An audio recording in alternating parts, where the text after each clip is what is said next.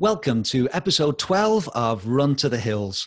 Uh, we love being back, and it's great to be back each week to chat to you and to share some of our thoughts about ultra running. And this episode is going to be all about the Hardmoors 55, which took place last Saturday. But before we get on to any of that, welcome, Eddie. And maybe you can tell us a little bit about what's happening in France, because we hear lots of stories about lockdown and all that's going on. Oh, John, I've had a bad week, a bad, bad week. It's been a few tears this week, not from me. Um, um, from the kids. yeah, we've been put back into today as our first day of lockdown in France. Um, understandably, the um, the uh, virus was rising rapidly, and um, they had to do something about it. And I do like the way in France they're like clear cut. This is what's happening. It's happening to everybody. This is what you have to do. Done. There's no discussion. The police will enforce the rules. But it's been a bit tough this week. The kids had um, been really looking forward to all their things that they were going to do this week, and everything was cancelled. And so breaking it to a five year old their swimming lessons have been cancelled and everything. They don't really understand it. And then we've then it's rained all week and we haven't had a, a, ton of stuff to do. They're not allowed to see their friends. So it's been a bit um it's just been a bit low but we've tried to raise morale and um so now we are back in confinement. And for those that don't know this me as a runner um, you are allowed out for an hour a day um, and you have to stay within a kilometer of your home. Uh, you're not allowed to go as a crow flies. It has to be a path. So you can't sort of like go up the mountain. Um, and you have a form you have to fill out with the time you left your house and your address on and a piece of ID, and off you go. And they police it. They drive up and down, even though I live at the end of a no, no through road in the mountains, they drive up maybe like three times a day. And they have been seen on the tracks in the I call them golf buggies, which makes my husband's laugh because he's like, they're not golf buggies, whatever they are, off road things. They come off of the tracks and check that you've got the, oh my God, the, I, I so I, I, stick to the rules um, and I run keep to a kilometer and I keep to the hour but the, I find it really stressful even though you know with the form and then the form gets all sweaty and then they pee and sometimes they don't stop. Most I think last time um, so we were on this lockdown last time from March to the middle of May and I only I got stopped three times I think and I'm going out every day, but still, I don't enjoy it. You can't relax when you're running because you sort of, you're always, I don't know why. I just feel like, I just feel on edge. And of course, you're running the same bit of path endlessly. So this morning I went out and I did my first hour on the same path, and I decided a few things that um, I was going to try and use it as a um, a bit of a training focus because um, we talked last week that I wasn't going to get to the South Downs Way 100, so I was going to have an easier week this week, which is what I've done, and I feel great. I feel so much better than I did this time last week when I felt quite tired. And we talked about maybe like doing a big challenge or thing or something, but I'm not going to do that because I've only got this hour outside. Um, so instead, I thought more sensibly, I'm going to prepare myself for winter because uh, our confinement is going to finish at the beginning of December, and then it's going to be a week until we can put our skis on, hopefully. Um, so I'm going to instead do a little training block to get my body ready for alpine sports. So um, I'm going to jump back on the turbo, back on my bike. For those listeners that have been following us from the beginning, hi, mum, dad. Bryn. Uh, uh, I was a triathlete before I was an ultra runner, so I have got some bike skills still in my uh, quads. I sat on my turbo um, the a couple of days ago just to see how I felt, and I felt great. I was like, I don't, I think I could, uh, I can still push some watts. So I set my bike back up, and I'm gonna run for my hour a day. I'm gonna do uh, my session on the bike. So I'm going to use my run and as a bit of like downtime and just some mental de-stressing because it's going to be my only break. I get outside and then I'm going to do some big sessions on the bike, carry on with my, you know, my beloved Pilates and get some strength in there and use this as like a positive training block. Maybe it will curtail my, my mountain, um, adventures a little bit, but maybe that's a good thing. I've just done a huge block and then I'm going to go into winter and be skiing you know, I just I love skiing. I have to be pulled off the mountain, so I can sometimes ski like 20 hours a week. So I think I'm trying to look at this positively and think like the next five weeks I can actually do some quality sessions, a little bit less, a little bit more rest, work on my French, work on my podcast uh, skills, not talking so much. And so that's how I'm going to cope with it. And keeping my kids fit and healthy because all their sports have stopped. They're still go- allowed to go to school. Thank you, baby Jesus. Otherwise, that would have been horrendous. They're still allowed to go to school, but they don't have their sports. And for kids that do 10 hours plus of sports a week outside their normal school is, is a huge loss. And there's nothing else. That's their life. So we've made a little chart, my middle son, and um, we've worked out how many kilometers it is to Granny and Grandpa's, and we're all going to try and jointly run it to Wales. Um, and he's already done 2K already this morning, and he's filled out his chart. So that's how the Sutton family are going to cope with confinement in France and keep morale up. And I'm going to come out with thighs like an alpine skier, hopefully. how are you, John? How are you feeling? Yeah, well, uh, this episode is going to be a little bit more about me in a sense of the uh, the Hardmoor, so we'll we'll come on to that in a in a few minutes. He's keeping um, he's keeping his powder dry because he right. knows he's going to get a little telling off from Eddie in a minute. Oh yes, I know. I'm dreading that. I saw your message, so I'm I'm waiting. I'm waiting with anticipation. But we thought we'd just move on to the what the race reports So this week there was three races that we followed. Uh, the first one was the 100 mile track race organised by Mark Coburn uh, at St Ives. And um, the winner was Michael Bisson in 15 hours 1904. And the lady winner was Sarah Marshall in 20 hours 0632. 46 people started this race and 21 finished, uh, wow. which isn't many. But I saw some of the photos and it looked horrendous the rain and the wind. Uh, and it was really, really cold. Uh, a friend, Sharon Gator, was running, and uh, she she stopped after about uh, 80 kilometers because she just couldn't get warm. It was just so bad. So even though it was a track race, I think the hard stuff uh, uh, was certainly came into play. Shout out to Mike as well because he put on our Facebook group that he was doing this race mm. and he was hoping to break um, his PB and he was hoping to go sub 24 and he did 15 hours 15 hours and 19 minutes. So i said i'm going to chat to him to find out that huge improvement what he'd done. And uh, he was obviously very chuffed with that.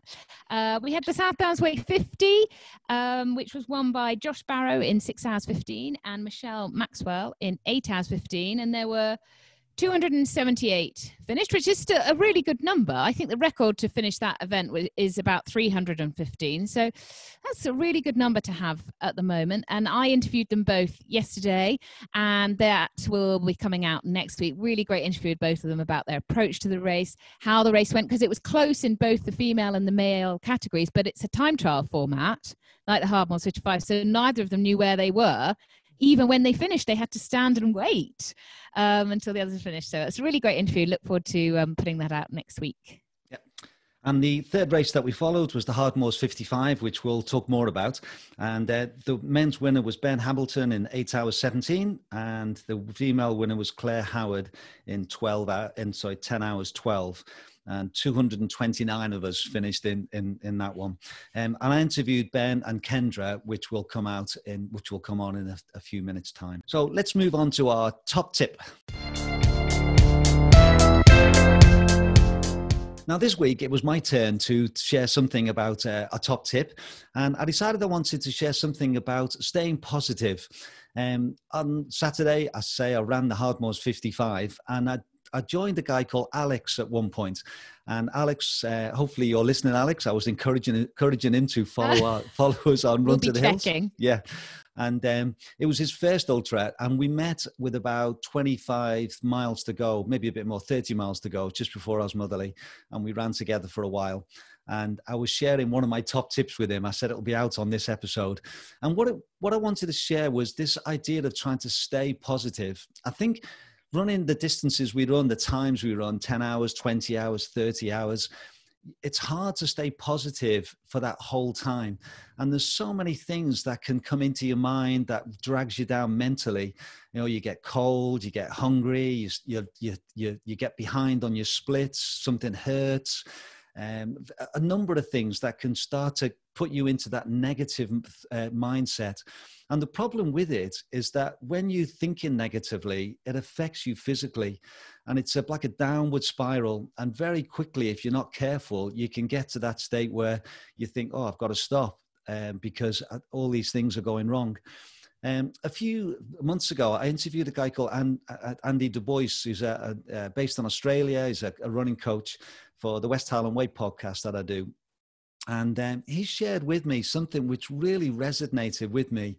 And it was the idea if, if you're in a negative state and you're thinking negatively with all these thoughts about, you know, ultimately stopping the race, um, he said it's quite difficult to move from that to a positive state where you're at top on top of things and happy and moving forward. So he said one of the things that you need to do is to try and move into a neutral state first. And um, so he had different techniques for doing that. And that's something which I think I did before, but it just helped me to really sort of crystallize it in my thinking. And for me, the way I try and get into a neutral state and get out of a negative state is counting. I do loads of counting. So I'll count, I'll count up to 100. Each time my right foot hits the ground, I'll count. So one, two, three. And I just try and keep that going. When I get to 100, I'll swap foot and I'll count my left foot. And sometimes I combine it with maybe running for 100 and walking for 20. Um, but just trying to just get my mind out of that neutral, um, negative state into a neutral state. Sometimes I'll do things like I'll count one, one, two, one, two, three, one, two, three, four, and just keep on going. Sometimes I'll do it backwards. All I've got, I've got loads of different things that I do. But basically, what I'm trying to achieve is to get out of that negative thought in my mind and try and get into a neutral place. And then hopefully, once I've done that, it might only take 10 minutes. Sometimes it takes a lot longer um, to get into a more positive frame of mind. And I found even on Saturday, and we'll come on to that, was there was a time where I, I, I, did struggle on Saturday and I was quite a low point. And I used this technique and it helped me to get through it. And then after a while, you feel a bit more positive again. And then you're starting to think about the end and keep going. So that would be my top tip this week, Eddie, is to think about how to stay positive and how to get back into a positive state if you're in a negative state. And um, it's quite interesting because I think people have different techniques of doing that. I say counting, I'm fairly simple, I think, and counting is the easiest thing for me. Um, but I know other people, like for example, my wife, when she's doing these long races as well, uh, she likes to plan her wardrobe. And so she'll think about the next week and what she's going to wear each day and what combinations she's going to wear of things other people I, I, read once in a running magazine the guy who's an architect will spend the run planning out a house and if he's got time he'll, he'll add on an extension to it. So i think different people use different techniques to try and sort of get into that um, into that neutral state and into that uh, positive frame of mind. Um, so that would be my top tip to try and you find something that works for you to help you to get from that negative into a neutral and then to be able to think positive so, Eddie, what are your? Have you? Is that something that you would uh, identify with? Well, it's it was exactly what I was thinking this morning as I did my first confinement run, and I was going up and down the same bit of track for 500 meters, and there's no point thinking negatively because it's going to affect your performance and it's going to affect um, your mindset. And I often try and just go, I call it facial collapse, and I just try and totally zone out and I I practice this on running and when I'm running, and and I, I think it's one of my first points to be is uh, to to build this mental toughness is you have to practice it in training. You have to do things to um, elicit this this feeling to then how you're going to cope with it, and everybody copes with it differently. Just like how we cope with confinement, is that some people will be able to turn it into a positive, like I'm trying to very hardly portray try to portray on this podcast that I'm going to be very positive, but you know uh, that's the way i cope with something like that. I try i try and think of a way to handle it and i'm going to turn this into positive but that might not work that's not definite maybe the right way. As someone else it might be that they have to cope with it in a different way. So it's very individual like you said and it is something that you have to practice in training and work out what works for you. And i think it's taken me probably like you john years to be able to go to me i go to this neutral place where there's nothing. There's not a lot it might just be my everyday blonde place but there's not there's nothing going on in my head uh, people talk about the flow, don't they? And I'm just trying to get to that point where I'm just running and there's no voices and I'm just sort of totally absorbed in what I'm doing and what I task. And it's very hard to do, especially in um, this day and age when there's a whole, there's const we're constantly on this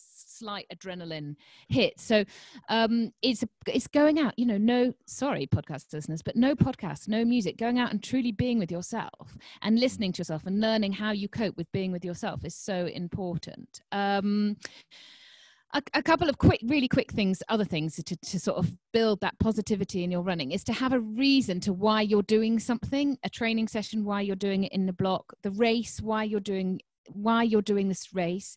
Um, think about other things other than yourself, because we as ultra runners are intrinsically quite selfish. You know, it's all about us and our race. Um, but you know, think about put it onto other people. With my kids, I often think about my kids and how I I want them to see me and how I'm doing this for them and how I want to go home and they're going to say, "How'd it go, mum?" You know, uh, so I, you know, you take it outside of yourself and you and you you almost give it to somebody else, so it becomes sort of this less this inner um, demon talking to you.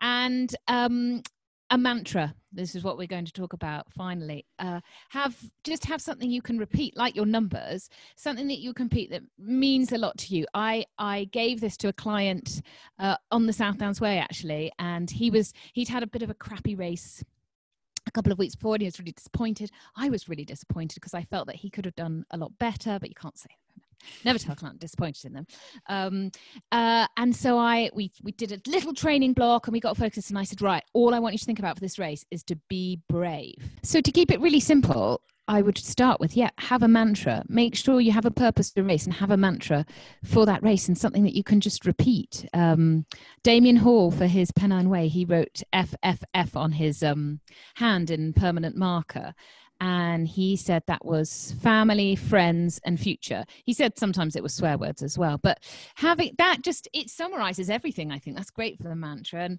that's what we're going to do for our competition this week. Yeah so for our competition and um, the best one that will will receive a, a, Chia Charge bandana so that's the prize for for this week. And yeah we'll, what we're looking for is uh, what technique do you use to keep to get you into that positive frame of mind?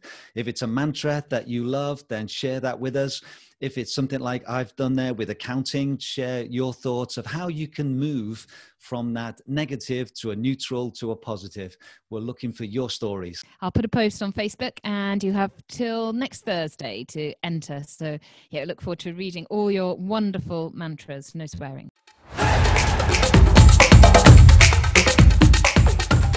So now we need to get into the real nitty gritty of the podcast. Uh, you're the moment you've all been waiting for is to find out how John's race went, the Hardmoors 55.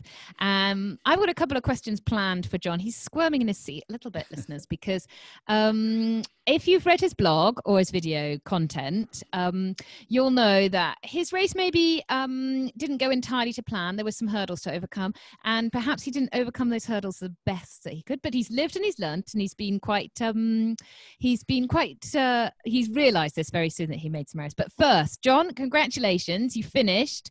Tell us just a little bit about the race and then we'll go into some of the minor just a little few of the minor details of the day out. Yeah, thank you. Uh, this was the seventh time I've done this race, and uh, I just love it. I love John and Shirley; they're good friends. I did the very first one in 2020, and I say this is the seventh time I've I've done it. So I love the route. It alternates. Sometimes it goes from Helmsley to Guisborough. Uh, that's the that's the route. I, that's the direction I prefer, if I'm honest. Uh, but this year it was Guisborough to to Helmsley. And uh, I set off with my good friends Andy and Sarah Norman. We'd organized, we gave the same time. We estimated we were going to finish around about 13 hours. So we started together and I ran with them for most of the race, which was great. It was lovely having a chat with Sarah, having a chat with Andy, having a chat with both of them. And the miles sort of passed pretty well. And I would say I felt pretty happy up until it, it's about 30 miles. Um, I'd sort of, um, it, it, the, first 20 was right into the wind, which was hard work because even the flat bits and the down bits, you were having to work so much harder because it was a strong headwind. Um, and then it started really raining for about 45 minutes, just ran about for us, ran about Lord's Cafe. And again, I was with Andy and Sarah. We all put our coats on just in time, so that helped, but we were drenched. Um, and then I went ahead of them a bit uh, into Osmotherley, and then I stopped to get a few things sorted out, and they went past me. I caught them up again, and uh, that's when things probably went didn't go quite so well. So I don't know whether you want to take it from there. So the weather sounds like it was a mixed bag of um, not sure I've heard of any sun yet, but wind and rain and um, and cold, and you were out for quite a long time. And I think um, one thing I sort of pulled from your report and from our sort of WhatsApp chat is that you got very cold. Um, and that sort of hampered that second half of the race. And perhaps you could have um, stopped and got a little warmer. What was the your of thought process that you carried on until you were really cold and then thought, right, but sort of, what were you thinking? What were you thinking, John? the thing is, I, I recently um, I, I, spoke to a friend, Stephen Brown, who were doing the countdown to the spine with. And by the way, the next one's out on uh, this weekend. And one of the things that Stephen said to me, which I've really taken on board but didn't, was was to uh, as you, if you think about doing something, do it. Yes. Ra- rather than wasting time. So Yes. I'd uh, I'd put my coat on at the right time, and uh, so that was good. Um, but I'd, I'd stopped at Osmotherley to sort out because I needed to get my head torch out. I needed to um, change the battery on my on my GoPro camera. Uh, that's important. Essentials And- here, yeah, and, uh, team. and, and get my battery out to, to recharge my Suunto uh, watch. 'cause it, I- I knew I- I needed to do that. um, so I'd, I'd done those things, and Andy and Sarah had gone past me, and um, so I spent the next hour catching them up. And they stopped out just outside of Osmotherley Square Corner, and they were putting warm clothes on. So as I caught them, I was thinking, "Oh, that's a good idea." You know, it is. It's getting dark now. It's going to Yeah, be dark in the next half an hour. The temperature's going down, but because I just caught them, I, I made. I, I decided, oh, let, you know, I knew if I'd stopped, they would get ahead again, and I'd have to Mm. work another hour to catch them up. Mm, mm. So I think, I think having their company was more Mm, important than mm, doing mm. what I should have done. Do you think at that point you were slightly underfueled? Because I often think Yeah. you make poor decisions when your brain is not being supported by calories, and so you kind of like it just go, yeah, yeah, yeah. This this is survival. I'm going to stay with these people rather than actually I need to stop and get warm and eat. Personal admin, John. Your GoPro battery and your Suunto watch took um, precedence over. Anyway, so do you do you think you were slightly underfueled then? I think so because I'd, I'd, I'd been eating really well, and because I'd been running a bit bit more comfortably, I, I, I felt well within myself. Yeah. So I was drinking well, I was eating well. I, I felt yeah, but the last hour before Osmotherley, it you know, because it was so cold and wet, and and it, I find it harder to eat when it's really wet. Yeah, your yeah, gloves are yeah, on. You've got Yeah. your big. Uh, I swap my gloves. Um, so it takes more effort to get your food out. So I find Yeah. it easier not to do it, um, which is not great. Um, but I think I think the thing what, what, when I first caught them, I wasn't that cold, in a sense. But I, I, I remember thinking, "Oh, that's a good idea," you know. And, As and your Andy- mate Steve says, the Yeah, moment uh, you think about it, that's you need to do it. yeah, and Shall I put my gloves on? Shall I get my head torch out? Shall I put my coat on? It's it's not a question there. It's just like if you start to feel thirsty, isn't it? The moment you feel thirsty, it's your brain saying, Yeah. "I'm de- I need to drink." So yeah. So I remember because I I went on with Sarah and Andy wasn't with us for a bit, and then eventually he caught us up and he said, "Oh, I got really cold there, so I just I just stopped to put an extra layer on his meri- merino uh, layer." And I, I remember thinking, "Oh, it's a good idea, Andy." but but again, I I, I found because normally I, I don't get cold if I'm honest. Yeah. Uh, I, I run in shorts all year round. I, I'm quite comfortable with that.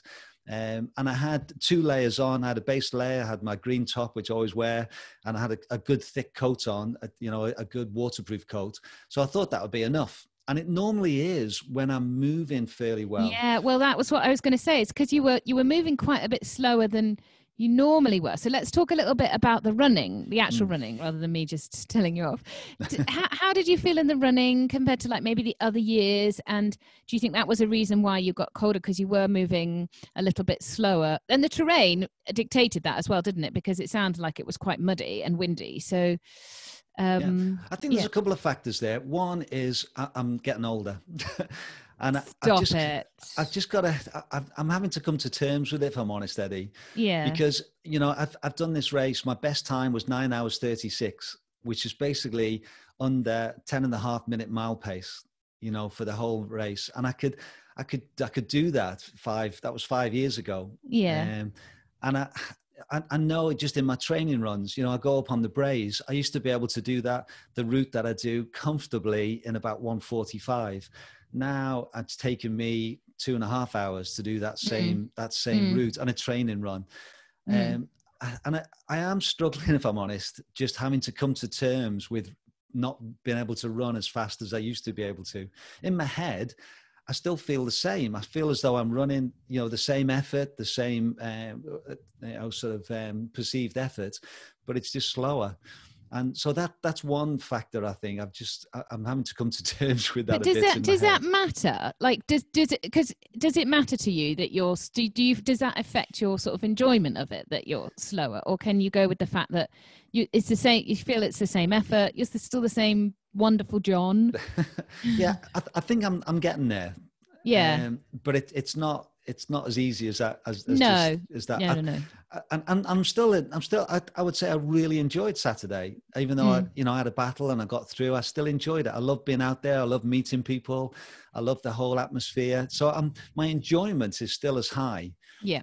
but it's just um it's just recognizing that I can't go as fast as I as I used to um, and then I, th- I think the other factor that was in there was that I was very much aware that I've got another race coming up two weeks later Of course, yeah. um, and so that was very much in my thoughts that I wanted to make sure, which, as I think I said before, I, I don't like to do this normally. I don't like to have two races so close together because I love to give 100% to every race I do. So it was in the back of my mind. And certainly for the first 30 miles, I was, I was trying to run well within myself. And I, I, my heart rate was great. I, I didn't, I didn't use a monitor, but I knew, you know, hard, I, I didn't, I didn't breathe hard at all yeah. you know i just sort of kept it under control Well, I think that I think that you probably maybe you've never you never done that before, and I think that's a huge mental block that your brain puts up. You knew, and a it's not another fifty; it's a hundred. You know, you knew that was coming, and so that. I think you're you almost like went into a bit of self-preservation mode as well, um, and that you know I'm going to take I'm going to take this really seriously, and it didn't allow you to perhaps do what you could you could you could do on that course because you knew I've got, you know, I've got to be finished this. I've got to be recovered. I've got to be ready to go again. And that that almost doesn't allow you. It doesn't allow your brain to then go, well, run free, run to feel. I'm feeling great. You were always on the hold back, which I think makes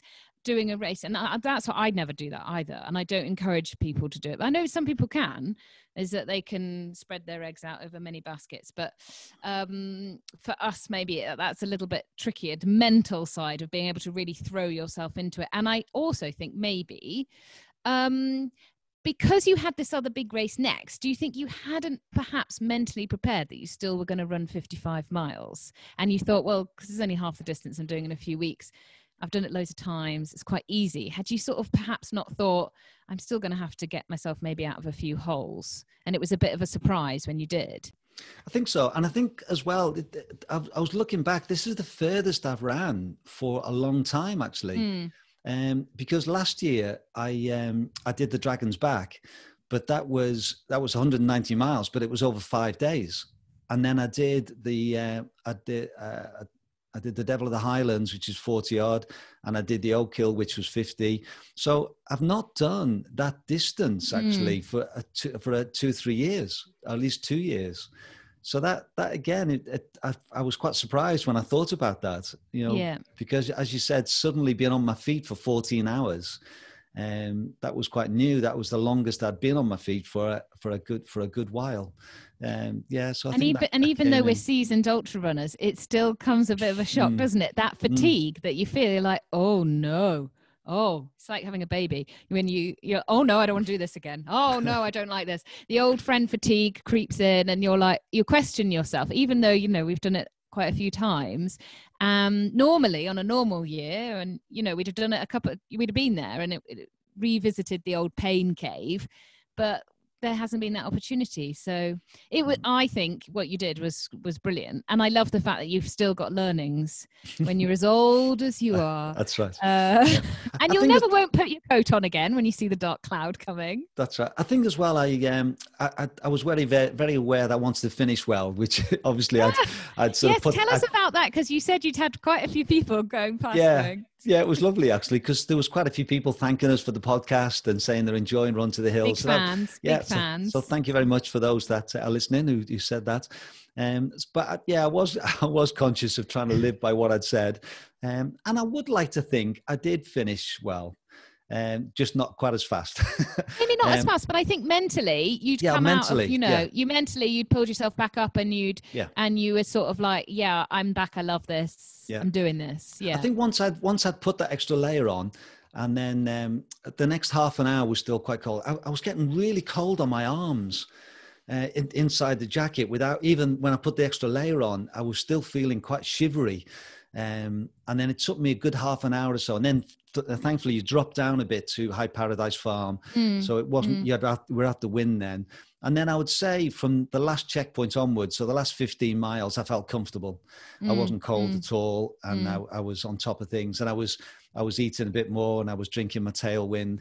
So I felt as though I, I got through it, but it was just that I would say an hour and a half, which I, I made it difficult for myself. Mm, I think if I'd when I'd when I I think what I should have done is put on my layer when I stopped at Osmotherley to sort out my essentials.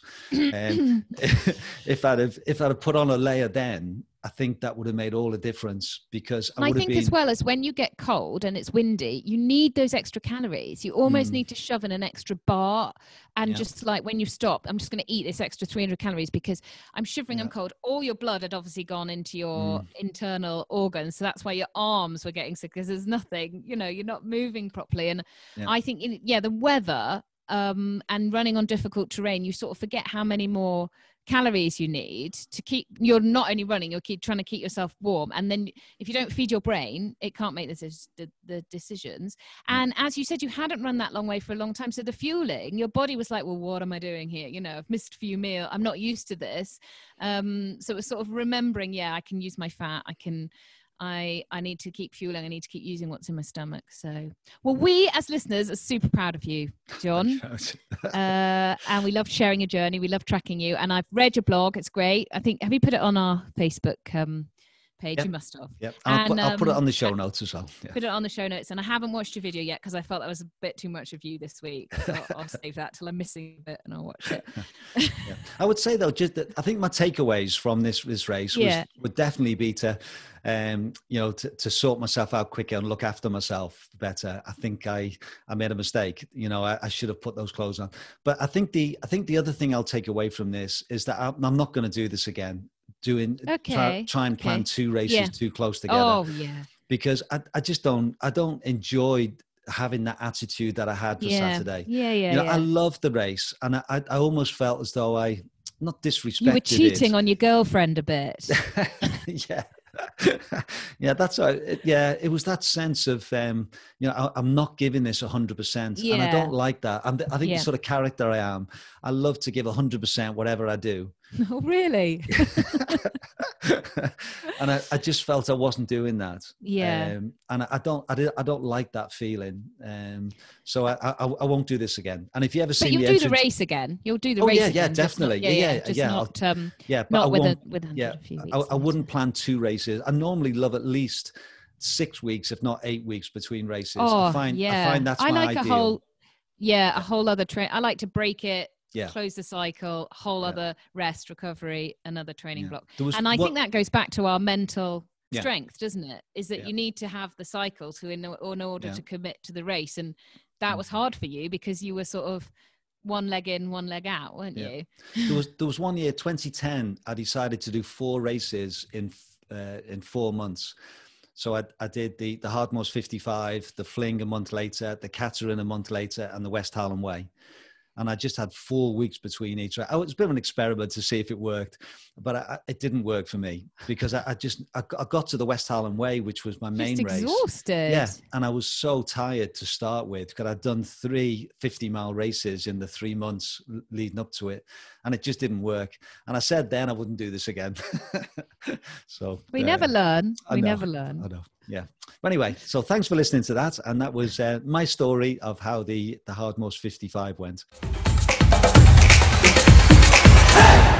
So we, we thought now we're going to sh- share a, an interview which I did this week, and um, we've we've got it's with the, the male winner Ben Hamilton. Um, we didn't interview the, the female winner this time. It was Claire Howard who we had on a few weeks ago when she won the the one the 110. Um, but we thought we'd have a little contrast. So we've got Ben Hamilton who won the race, and we've got Kendra Wedgewood who finished just over 12 hours. So this is my interview that I did this week with Ben and Kendra.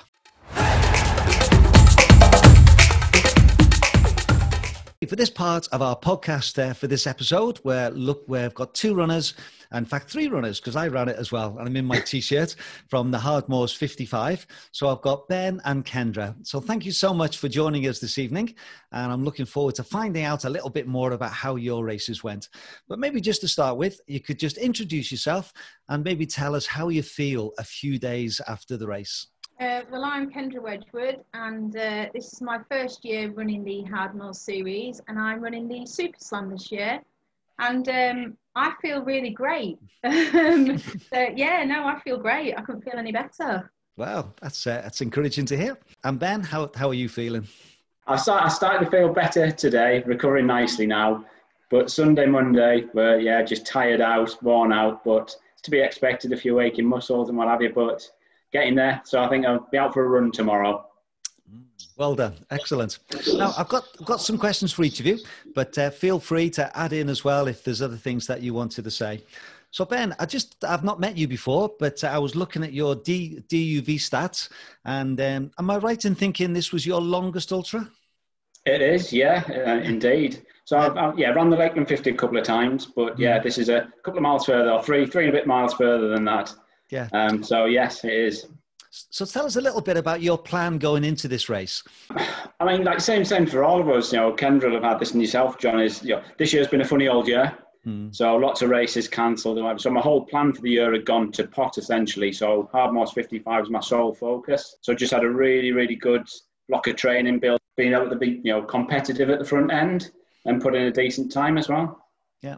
So I'm assuming that you come from a quite a, a speedy background, do you? Marathons and other things you've done? Yeah, I suppose I, I didn't get back into running probably until my early 30s, I think, and then focused on road running, bit of speed and stuff there, but then soon transitioned to doing the off-road trail stuff. Like all it's much more fun, isn't it? Getting muddy and wet and running up and down hills. I think you know, again, you you guys will think the same thing, I'm sure.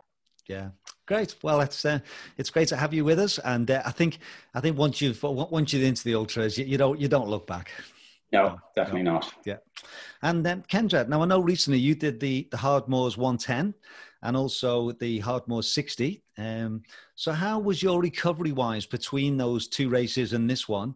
And how did you uh, did you feel ready physically for this race on Saturday? Um, I did, yes. Um, I felt great at the start of uh, the 55. Um, I think the back-to-back long events have worked really well for me um, mm. because one has been training for the next. Um, I felt really great at the end of the 110. Um, the 60 took me about a week to get over that, but I think that was because of the sun. Um, but um, I went into the 55 feeling really, really good, really rested, and yeah, just was really excited to do it. So um, yeah, this structure has actually worked really well for me. Yeah. And was that always the plan to do the Grand Slam or the, the Super Slam? Yes. Um, I call it my midlife crisis. I turned 40 this year. Um, and so completing the Super Slam was really important for me. And then when COVID hit and uh, races started getting cancelled, um, I was really, uh, I was, I was really upset that I was going to miss out. But then obviously they put the races back on, so it's just been a really, really good year for me, and I feel really privileged to have been able to do all these races. So, yeah, I've just had a really, really good year. Yeah. Yeah. Yeah. Well done. So Ben, it's always funny, quite interesting to hear how things are at the sharp end of the race. You know, uh, you said you said just in your introduction there that you wanted to see how you could be competitive and um, to sort of um, to put yourself out there. Uh, so tell us a little bit about your about the race and how it went. Were you running with people? Were you on your own? And how did it work out? Yeah, you know, same same for all of us. Again, um, you know, a bit of a strange start. Little groups of, of four or five people. So, so yeah, I don't know any of the guys who we set off with. Um, but yeah, I just um, no matter what I do, I think it's always it's a it's a, a marathon, not a sprint. It's an ultra marathon, not a sprint, I suppose. So, um, so it's always steady away. There's a long, long way to go, a lot of time and what have you. But um, yeah, just for the for the first sort of six, seven miles, staying with uh, you know the, the two or three other guys who were up there, and then just at, at Kildale, the climb out of Kildale up to up to Bloworth and away. I was by myself and never saw a soul. Mm. You know, after after that. Um, it's always a psychological thing, though. In you know, in your mind, in those sort of races, you have no idea where people are and and who you're up against as well. So it's just a case of keep my head down and and, and keep going. And you know, I say again, I have to thank Mundy, my partner, for for being out there crewing me and keeping me keeping me going and keeping me on my, my race plan. Yeah. Now I assume you were in the first group, were you setting off? Yeah, so we started at eight o'clock. So yeah, there was uh, four of us doing the fifty-five, and then a, a, relay runner as well. Yes. Right. Okay. So I assume you don't quite know, do you? There might be someone who started ten minutes behind you who was actually running faster. So you don't quite know, do you? No, I did straight. Some uh, a guy who I work with today was asking me about that actually. So he mm. he was on about that. So yeah, absolutely have have no idea. You know, because people's predictions of times and when they want to set off is is um, is very different. So yeah, exactly. Until I mean, ultimately, you wouldn't have known until potentially hours after the race had finished. You know, there could have been somebody way back there, started way later, who's who's ahead of you. Yeah, yeah. But yeah, it's wow. a strange, strange experience. Yeah. Yeah, I'm, I'm not sure it'll be hours, but maybe. well, yeah, a few, a few minutes maybe. yeah, yeah, yeah, yeah, yeah because uh, you you finished at a time of um, eight hours, seventeen minutes, and five seconds. So was that was that what you were aiming for around that sort of time? Did you have a time in your mind? Yeah. So I mean, I, I, I thought somewhere between eight and eight thirty. I would have loved to have done sub eight. Um, I think, unfortunately, like weather conditions and wind and what have you, it's, there's certainly some time was to be made there, and it was it was tough tough going. So I'm more than happy and more than chuffed with that sort of time over a, a tough course. You know, yeah. I think anybody completing that course is, you know, a winner. Yeah. Well, congratulations. Yeah. Uh, no, thank you. Yeah. Uh, this was my the seventh time I've run this race and um, I did the very first one, and it was probably similar conditions to the, to this one. And then we've had some. I've had some great weather actually, but we've had some rough ones as well. Yeah, but yeah. Uh, I think we certainly had a good mixture of weather on Saturday, didn't we? Um, Definitely. So, Kendra, how, how, did you find the wind and the rain, and particularly the mud? Um, was that something that you had uh, to battle with? Uh, no, I love it. Love, love, love it. The, the better for me, definitely. I take the wind, the rain, the mud every day over the sun. I I loved every minute of that 55. That was wow. that was perfect. Me. Absolutely loved it. Yeah. Yeah. Yeah.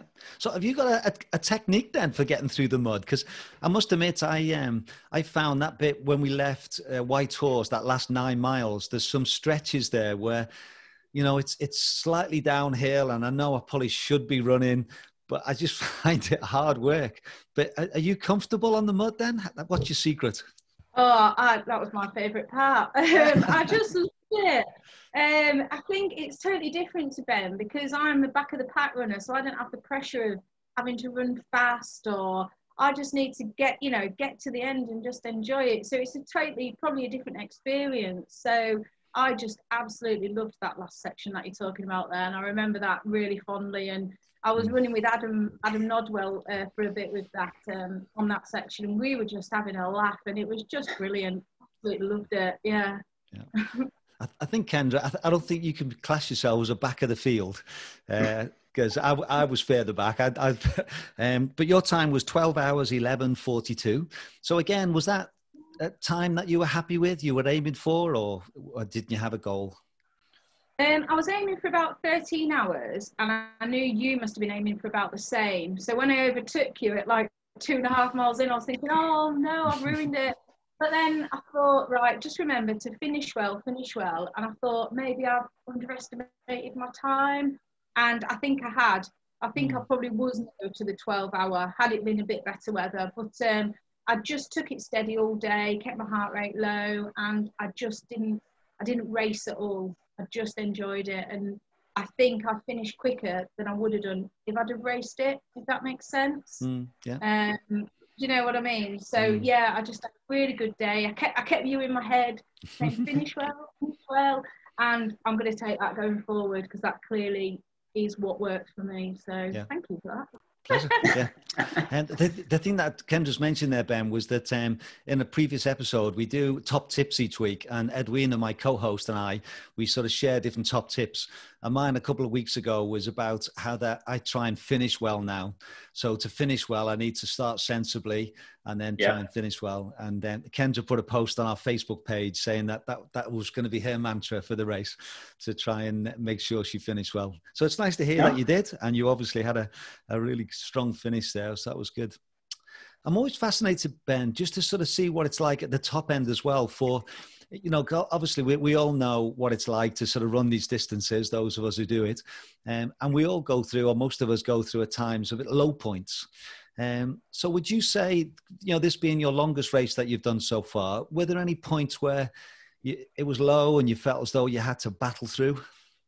I think, yeah, for, for me, whilst it's, you know, the, the love of running it, over that sort of distance, it is very, very sort of up and down. And um, one minute it feels really, really good, bombing along there, and the next thing you know, you can have a dip and what have you. And I, I mean, you might be surprised, but I, genuinely, very, very early on in the race, I didn't feel as though it was really happening for me, and I did think maybe it's just not not going to happen. I, you know, before getting the clay bank, thought might stop, you know, jack this in, but the climb out of of Kildale really got me going. That's probably what I needed. I needed, you know, I love climbing, got that.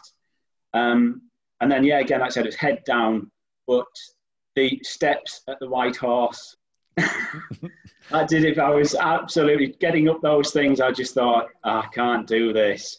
And really did just dip, but just managed to get up then. And then I know the last section really, really well and just head down again. But that was a real hard slog to get myself up those steps. Yeah. Kendra, you're smiling there. Was that the same for you? Yeah, I'm sure I was going a lot slower than Ben, but yeah, they're just horrible. They're just horrid.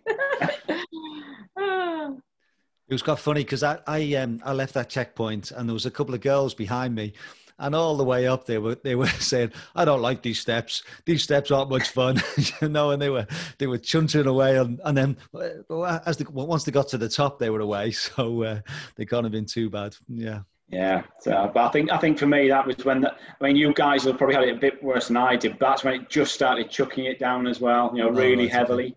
So it just just got me for a minute. That's yeah, yeah. wasn't much fun. yeah, I think that downpour. It was just before Lord's Cafe that w- w- it, hit, it hit, hit me, and um, for about forty minutes it was torrential, wasn't it? You were absolutely soaked. Uh, yeah. So what point were you at, Kendra, when it started raining? You must have been a little bit further ahead. Yeah, I wasn't that much further ahead. Um, but uh, I put full kit at that point because I was expecting it to last about an hour. So I fully kitted up with waterproof trousers and, you know, I made sure I was warm. And then once the hour had passed, I just stripped off again. And um, I really looked after myself on this event, which I also think added to the overall experience. Yeah. Obviously, Ben, you'd have been running so quick, you wouldn't have felt the rain, I imagine. I, I, am extremely vulnerable and soft when it comes to inclement weather, I'm afraid. But yeah, I, I, think I made a really sensible decision at Square Corner. It was still dry when I got to Square Corner, started climbing up to Black Hambleton.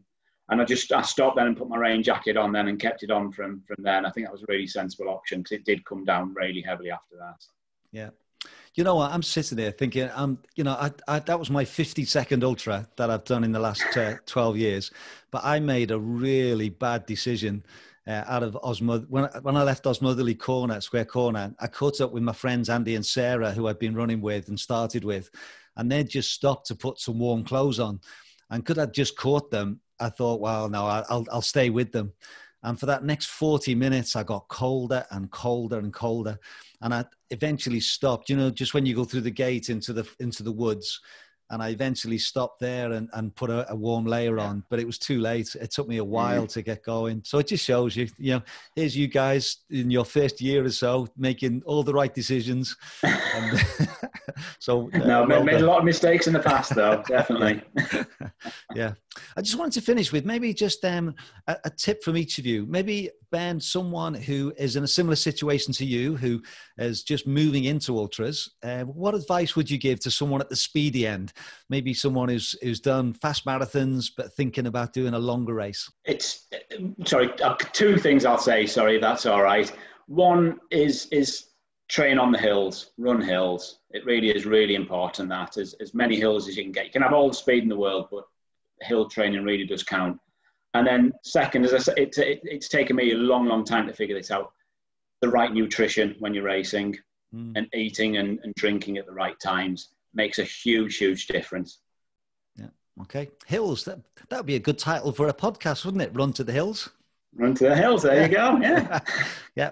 And maybe for Kendra, you could maybe share uh, your thoughts on, on on moving into ultras again, because uh, this year is your first year, but you've you've tackled a lot. You know, doing the doing the um, the slam, and the, because they're all grouped together.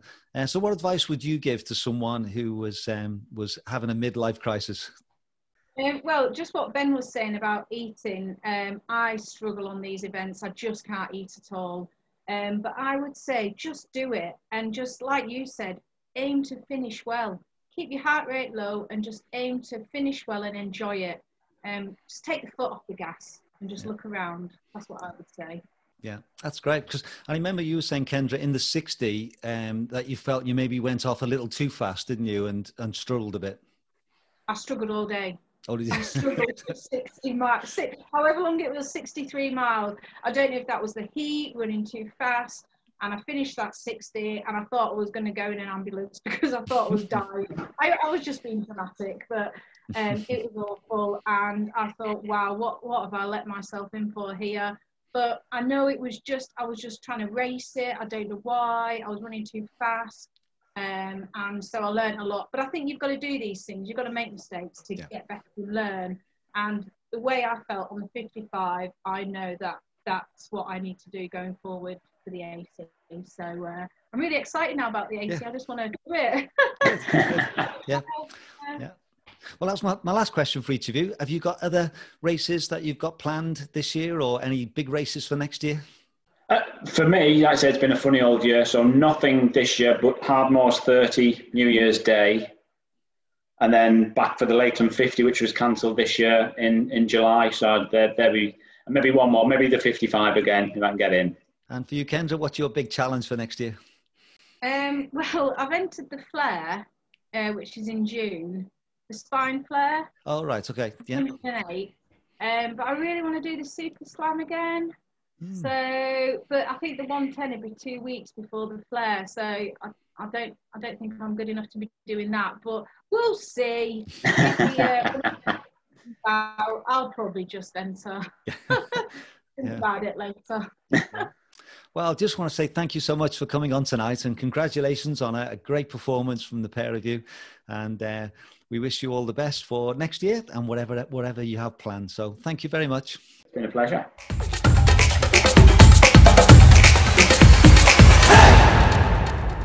So I hope you've enjoyed that uh, feel of the, the Hardmoors 55.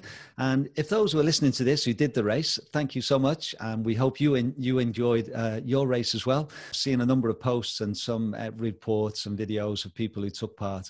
So it's lovely to see those as well. So Eddie, what have you got planned this weekend, this coming week? I know one kilometer, oh. one kilometer loops, John. yeah. Variations on one kilometer. I feel I could write a song about it. uh, I've got my oldest has been away skiing on a glacier. It's all right for some 10 year olds, isn't it? So he's, we're really looking forward to it. He's coming back this weekend. And so we're having a little Halloween. I don't really like Halloween, but um, we're having a little Halloween party this weekend. So I feel it's really important and can we have you have to sort of have things to look forward to, don't you, when you're in lockdown? Otherwise, it's just day in day out. So we'll make a weekend, and then yeah, I'm going to start my new training block. Um, I haven't really worked out how I'm going to do that, but I'll try and get into. I like to do the same things on the day. So Monday will be something, Tuesday, and I'll repeat that, and I'm going to write my six week training block this weekend so I can bore everybody with that next weekend. So I'll have a relatively quiet weekend. Um, and then, yes, yeah, start my alpine training block this week, which I'll share with you next week what that's going to look like. And just keep running my keep running my loops and looking up at the mountains and keep trying to smile and be brave, like my mantra. What about you, John? A little bit of jogging? Yeah, this weekend I was going to go for a run tomorrow with Katrina up on the Braes and then um, see how it goes uh, next week. Uh, I just want to mention as well that um, we're doing our countdown to the spine with Stephen Brown, and we've got the second episode on Sunday, so that will be 10 weeks to go. And then Stephen's going to share his thoughts about sleep strategy and I know that's a big thing for him mm. on the mm. on the mm. spine. He would say himself that he's not one of the faster runners, but he is very very good at managing his sleep. So that should be a really interesting episode where Stephen's going to share some of his tips about how to manage um, sleep on the spine. I'm John Kynaston. This was episode 12. I'm Eddie Sutton, and let's run to the hills.